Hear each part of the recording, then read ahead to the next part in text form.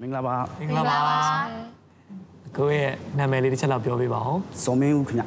အသက်ဘယ်လောက်ရှိသွားပြီလဲကိုအသက်20ခွန်29ဟုတ်ကဲ့အိမ်အောင်နေပါရှိလားဟုတ်ကဲ့အိမ်အောင်ရှိရခင်ဗျဟုတ်ဟုတ်လားလားအမျိုးသမီးကရောဘယ်လောက်ထိ तू က support လုပ်လဲအာ100%လား40တဲ့သူက40 50ရာခိုင်နှုန်း50တော့မဟုတ်ဘူးလား50တောင်မပေးဘူးအောင်မပဲပေးတယ်နော်နေဩအောင်မပဲပေးလို့အေးလေအဲ့လိုတော့မလုပ်သင့်ပါဘူးအဲ့ဆိုရင်စင်ပြေမယ်ဆိုရင်ကျွန်တော်တို့နားထောင်လိုက်မယ်လေနော် ready ဖြစ်ပြီဆိုရင်ဆိုလို့ရပါပြီဟုတ်ပြီဟုတ်ပြီ Yeah မင်းကိုနမ်းနေပေးမယ်ချစ်တွေလာပါဖို့မင်းနဲ့ချစ်ခဲ့ခြင်းရဲ့ညညာလိုချင်တဲ့တွေတွေလာပါဖို့အလွမ်းပူပြင်းနေမိလာချစ်တွေဟာဆိုလို့ကောင်းမ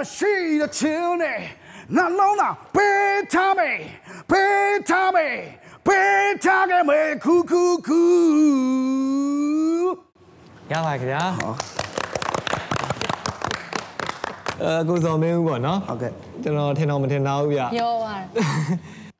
အမျိုးသမီးလုပ်တဲ့သူကိုလှမ်းခေါ်လိုက်ရင်ကောင်းမှထင်တယ်ရပါတယ်အမအမားတို့ခေါ်နေတယ်ဆိုလဲတွေ့မယ်ဆိုလဲခေါ်ပြီပြောတော့နန်းခမ်းရွက်လို့ခေါ်လိုက်ပြီဟုတ်နန်းခမ်းတွေဟောကြွပါဒါပေဗျာမဲ့နန်းခမ်းတွေကဲကြွပါကြွပါအမဘာဖြစ်လို့ကိုယ့်ယောက်ျားလောက်ဒီ40ရာခိုင်နှုန်းပဲယုံကြည်မှုရှိရတော့လဲ तू က rock ကြိုက်တာလေ rock ကနားကြီးရဲ့ညီမလေးအောက်ပေးချောင်းလို့ပြော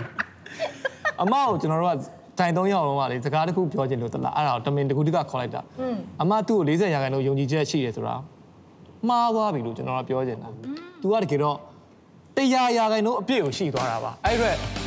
ဒီရဲ့ go ticket လေးကိုသူ့ကိုကျွန်တော်ပေးလိုက်ပါခင်ဗျာလာယူပါလာယူပါလုံးလာယူပါတရားလုံးလာယူပါရှိတဲ့တယောက်ကပါလာယူပါကျွန်တော်တို့ကတော့ဘာမှမပြောနိုင်ဘူးပြောတာဟုတ်ကဲ့နော်ဟုတ်ကဲ့နော် ကျေးဇူးတင်ပါတယ်။ဟုတ်ကဲ့ဟုတ်ကဲ့။တောက်ပတဲ့နာဂလန်ကိုဒီနေ့ရှောက်လမ်းလိုက်ပါနော်။ဟုတ်ပါပြီ။ဒီနေ့ကစပြီးတော့မြမရော